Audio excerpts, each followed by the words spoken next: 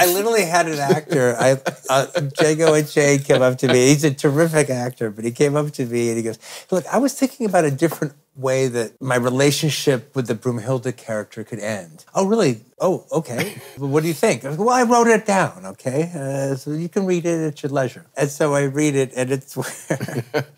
Yeah. he kind of saves the day.